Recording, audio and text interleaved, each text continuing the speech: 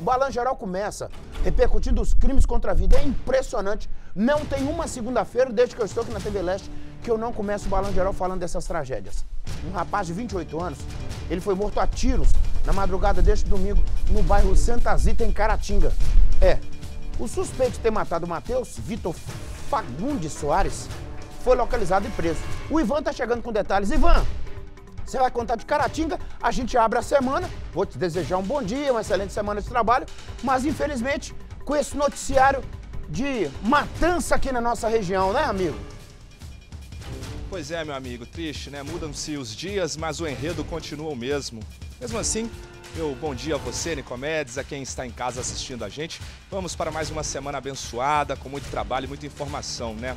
O Nico, o suspeito de assassinar Matheus Victor Fagundes Soares foi preso no mesmo dia em que o crime aconteceu.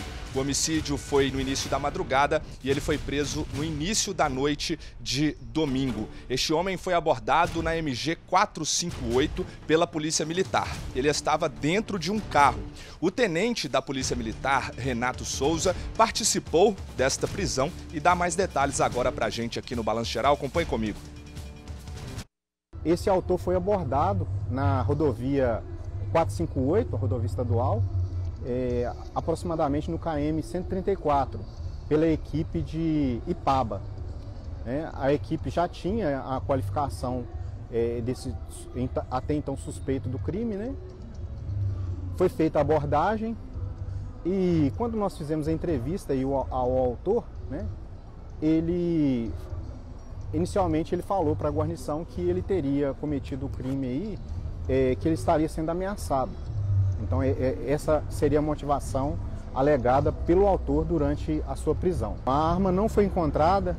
É, o autor, é, ao ser questionado né, sobre essa arma, ele alegou que durante a fuga ele teria dispensado essa arma.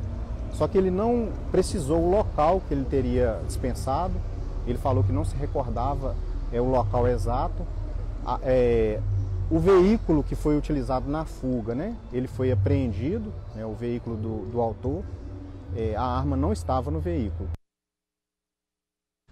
Tá aí, portanto, entrevista bem completa do tenente da Polícia Militar, Renato Souza, a quem agradeço pela participação conosco aqui no Balanço Geral. Nicomedes, para finalizar então, a motivação deste assassinato pode ter sido possíveis ameaças, como você acabou de ouvir aí na palavra do militar. Agora, a Polícia Civil vai conduzir uma investigação para descobrir os detalhes deste homicídio que aconteceu no bairro Santa Zita, na nossa querida cidade de Caratinga, Nico. Paz para Caratinga, meu amigo. Terra das Palmeiras, eu sempre peço paz aqui para nossa área de cobertura, né?